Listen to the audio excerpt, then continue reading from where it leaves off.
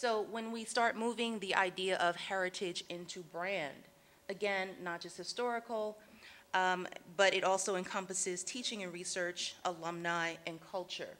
So for teaching and research, Penn State is known as a public ivy because of its stellar academic reputation.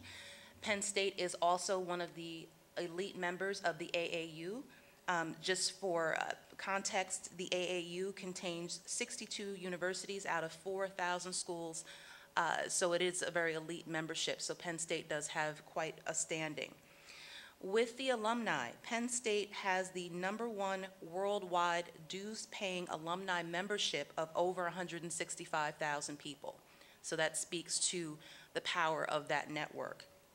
And of course, as you've heard, uh, football is quite uh, important at Penn State uh, as part of their heritage. Their football is uh, Division One in the NCAA.